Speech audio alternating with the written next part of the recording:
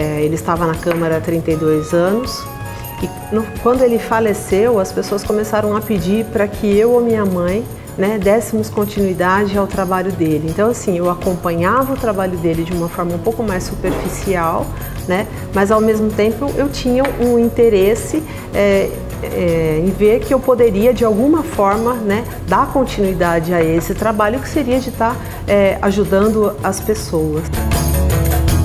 Quando eu entrei na, na Câmara, eu senti uma, uma certa dificuldade, porque eu não tinha uma experiência, mas ao mesmo tempo você sentia, claro, um certo preconceito né, pela questão da, de ser mulher. Isso existe até hoje, umas coisas assim super simples, alguma fala, em alguma, alguma situação a gente percebe isso. Mas assim, para ser sincero, eu costumo tirar isso de letra. Eu, eu faço com que isso não abale é, o meu trabalho, o meu mandato porque infelizmente o preconceito sempre vai existir. Se vai ser para alterar o projeto ou para que conste na regulamentação.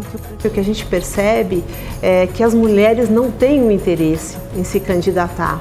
É, é, talvez por questões de, de, preconceito, por questões da, da, da, mulher ter uma dupla jornada. Eu acho que isso também é, é, é um grande problema que as mulheres enfrentam, na verdade que nós enfrentamos, né?